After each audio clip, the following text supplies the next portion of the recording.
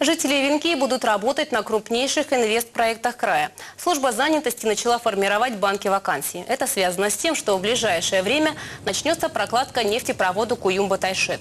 Все резюме от местных жителей собирают и направляют в Красноярск.